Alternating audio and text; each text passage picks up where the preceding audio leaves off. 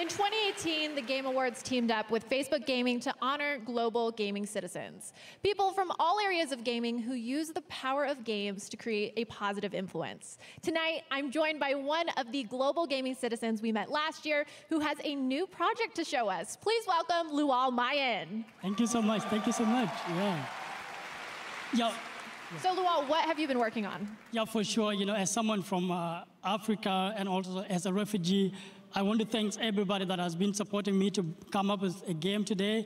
Facebook Gaming, Eisenberg, and Luol Deng. I've been working on a game that actually put a player in the shoes of a refugee. It's a game that actually talk about journey and helping people to understand the empathy. And this is something that video game can be able to do around the world. We can be able to change the world and help people around the world and see what, whatever they're going through through playing video game. So it's a game really that put a player in the shoes of refugees and breaching the reality wall and, the, and what is actually happening on the ground. So I'm really so excited about the project. Yeah.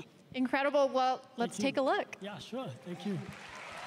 I create Salaam because games are very powerful to, to create empathy and to help people understand the journey of a refugee. Growing up in a refugee camp, my mother spent three years looking for $300 to buy a computer. Then I taught myself how to create a video game. My mission in creating Salaam is to let the world know what it's like to be a refugee. When you buy medicine and food in the game, it goes to real refugees, refugees like me. Together, we can take small steps to make a big difference.